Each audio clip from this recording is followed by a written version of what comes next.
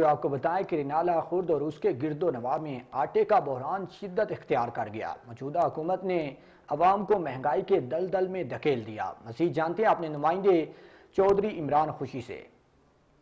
बढ़ती हुई महँगाई ने गरीब आदमी की कमर तोड़कर रख दी अगर बात की जाए आटा, चीनी, घी, दालों के जो रेट हैं, वो आसमानों से बातें कर रहे हैं। मार्केट में 10 किलो आटे का थैला बाईस सौ बीस रुपये में फरोख्त किया जा रहा है। अगर बात की जाए चक्की मालकान चक्की मालकान 10 किलो आटे का जो थैला है, वो तीन हज़ार रुपये में फरोख्त कर रहे हैं। कोई पूछने वाला नहीं इस हवाले से हमारी मस्जिद शहरों से बात हुई। उनका कहना है कि यूटिलिटी स्टोर पर भी जो आटा आ रहा है, वो भी महँगे दामों में रहा है, नाकस क्वालिटी का आटा फरोख किया जा रहा है। इस हमारी मस्जिद शहरों से बाद उनका कहना है कि जो शहर भर में प्राइस कंट्रोल मजिस्ट्रेट तैनात किए गए हैं, वो अपने दफ्तरों में बैठकर सब अच्छा की रिपोर्ट सेंड कर रहे हैं। कोई मार्केट में आता नहीं, जिसकी वजह से जो आटे का बहरान है, वो शिद्दत अख्तियार करता चला जा रहा है। जिन दुकानदारों के पास आटा मौजूद है, वो महँगे दामों आटा फरोख कर रहे हैं। कोई पूछने वाला नहीं है, अगर बात की जाए मार्केट में आटा जो फरोख किया जा रहा है उसकी क्वालिटी के हवाले से नाकस किस्म की जो क्वालिटी है, वो आटा फरोख किया जा रहा है जो आटे का जो बहरान है इस वजह से शिद्दत अख्तियार करता चला जो चक्की मालकान है वो भी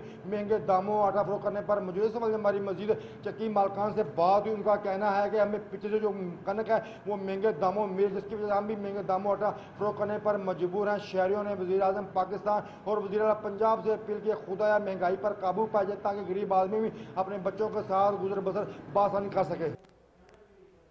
शुक्रिया इमरान तफसीलात से आगाह करने के लिए। न्यूज़